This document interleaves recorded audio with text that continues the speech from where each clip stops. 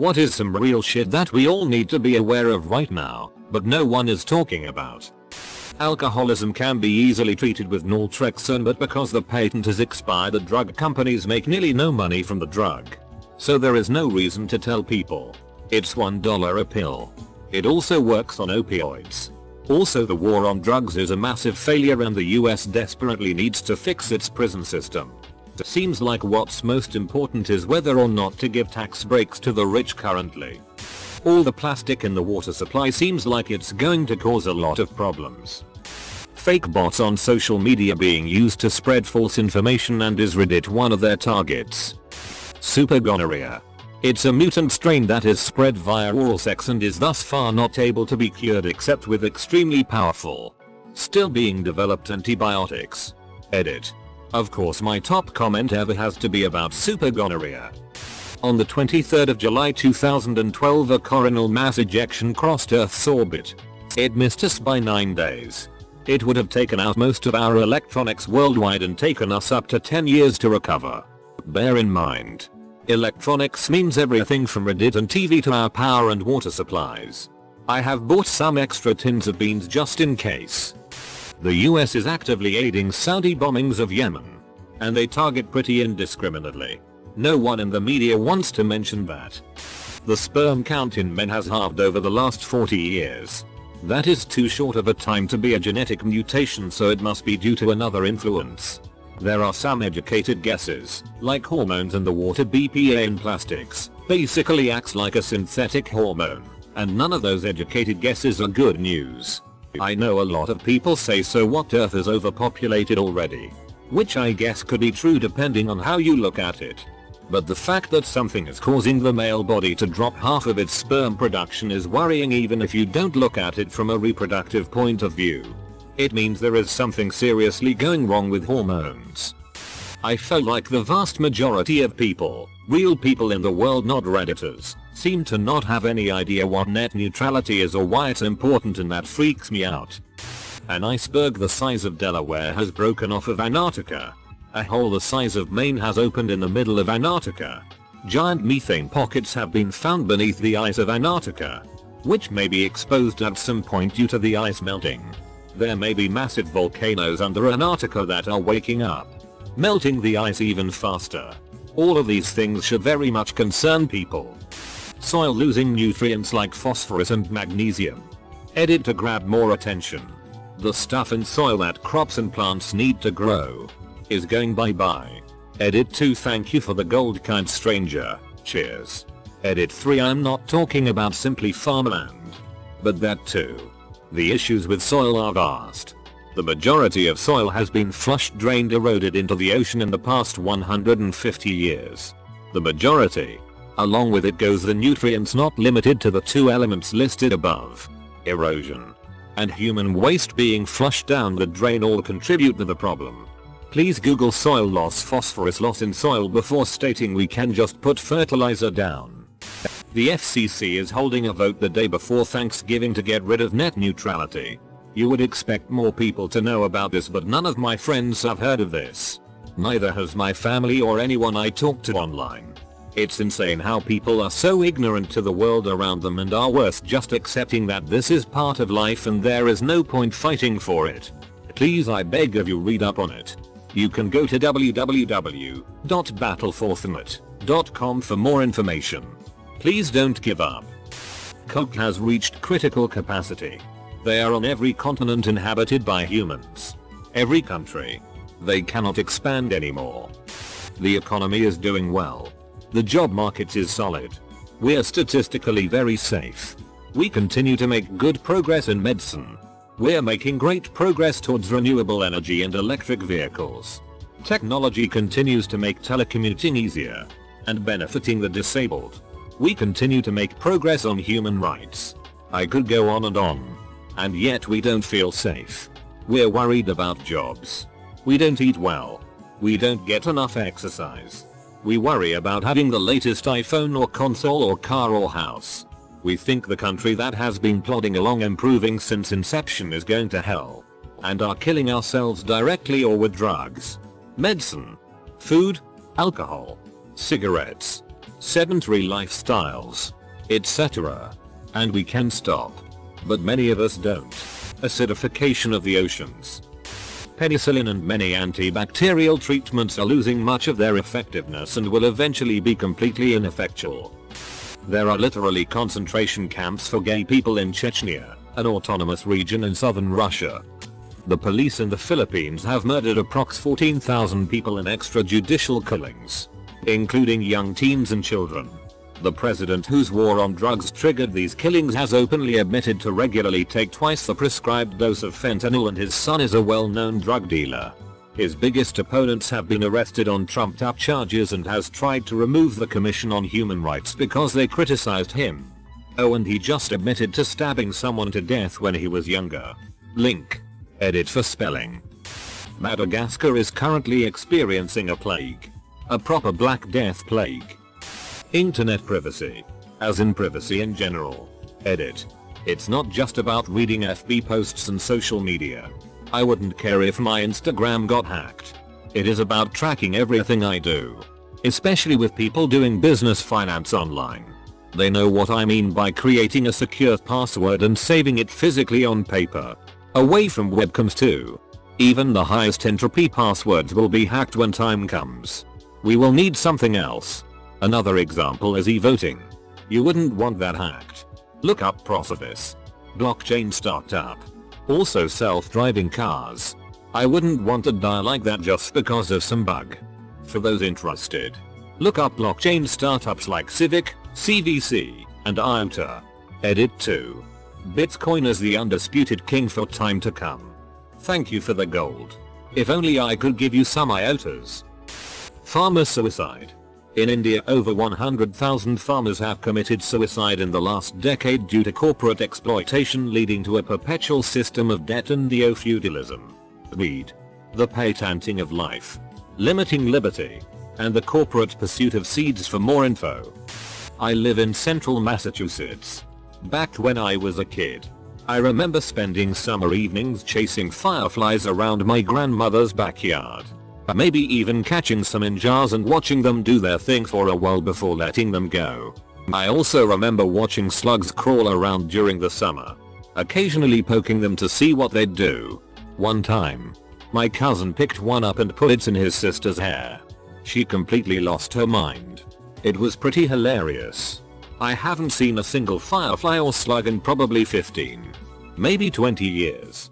I don't know what caused them to leave the area, but that seems like it's probably kind of a big deal. Android security. Not many people realize what their apps are doing in the background. So many apps need permission to do this and that but in reality they don't need 90% of what they ask for. Species are dying off at a rate 10,000 times background levels. We are in the middle of the sixth major extinction on this planet. The increasing rate of older people lacking any sort of retirement funds. Because of this, People are working longer into their life and it has and will definitely cause problems for the younger generations as there are less jobs. This also causes a lot of problems with social security and Medicare. I think this is the biggest economic problem that is completely ignored. New technology and innovations will continue reduce the amount of workers needed to produce goods. And thus jobs will start to dry up. Even new are beginning to replace intellectual jobs, early lawyer, job market is gonna go through a serious makeover in the next 30 years. The district attorney in New Orleans issued fake subpoenas for years to get victims of crime to come to his office and coerce testimony. If they didn't comply, he would get an arrest warrant from a judge by stating that they failed to appear. No one bothered to check if the subpoenas were legal. In many cases the victims did more jail time than their attackers. You're supposed to see a judge within 72 hours of arrest. One person was jailed for 89 days without seeing a judge. Because they weren't in the actual system. It was up to the DA's office to comply. They used jail for compliance. In some cases they just held them in jail until it was time to testify and then compelled them by bringing them down to the courthouse. Orange jumpsuit and shackles. How much misinformation that needs to be debunked. The internet gave everyone a voice but most of them are dumb and uninformed why most college kids are going through insane levels of depression. More than half of the classmates I talk to are on some form of antidepressant. The entire media being owned by 5 plus large corporations. The almost depleted water table in the Midwest. No crops will grow without water being pumped in. It's approaching soon. Look up water rights and who's buying them up. There's a potentially huge shitstorm brewing in the Middle East. First the crown prince has essentially purged all rivals. Rumor is the PM of Lebanon is essentially being held hostage by Surran al-Sar.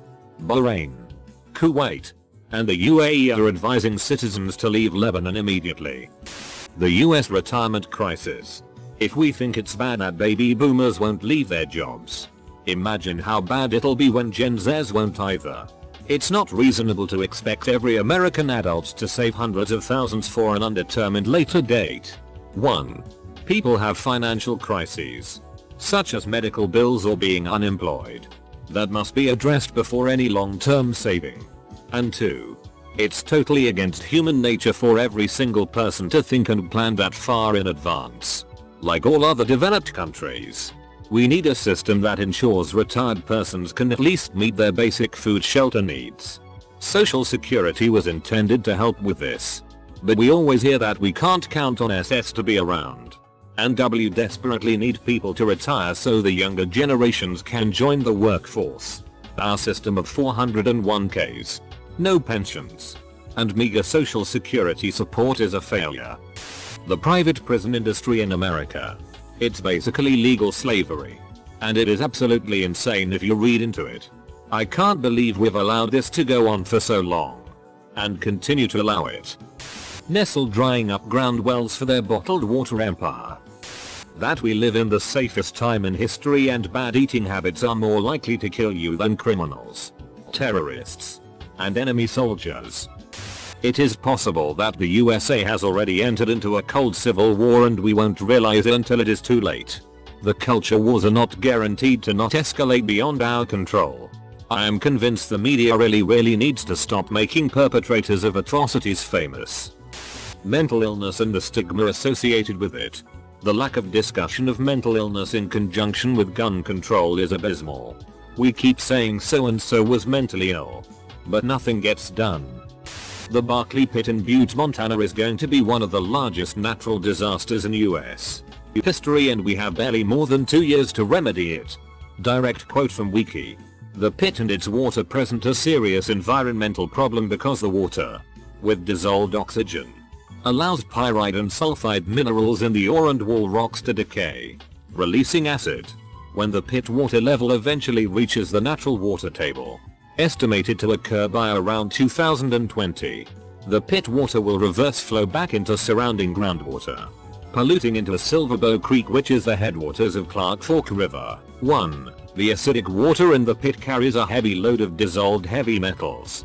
In fact, the water contains so much dissolved metal, up to 187 ppm Cu, that some material is mined directly from the water. Montana has known about this problem since 1980. What have they done in the last 35 years to solve this issue? They open up a gift shop and a platform so you can pay $2 to slowly watch western Montana and eastern Idaho's water table be destroyed. Reading through all the shit in this thread, I can't help but feel like we're heading towards Bronze Age collapse too. Electric Boogaloo. The CIA has flat out admitted that even though MKUltra was discontinued, Mind control experimentation still occurs under a different codename. Ending MKUltra was just to get the public to stop paying attention to it. Antibiotic resistance bitches. Stop fucking taking antibiotics without prescriptions. Amongst all the sex scandals and controversies in Hollywood, Brendan Fraser's name remains unsullied. That there are literal concentration camps in Chechnya for gay men thousands are being rounded up and killed for their sexual orientation. How the brain cannot distinguish between what is real and what is not. Whatever you fill up your consciousness with will affect you and shape the future you. Commercials have been abusing this. And so has Hollywood and the media. The potential for honeybee and other pollinator species going extinct. This has catastrophic implications for life as we know it. The warning signs have been there for decades. Human activity is suspected to be the main cause.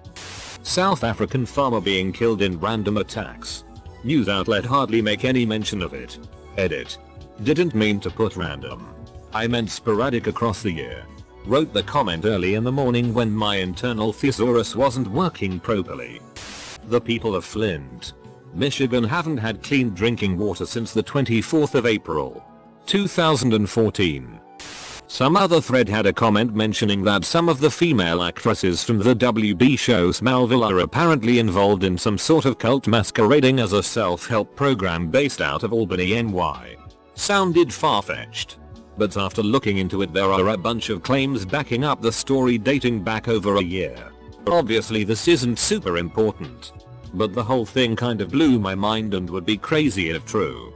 Apparently Allison Mack, blonde chick from Smallville, is like the number 2 person in the organization.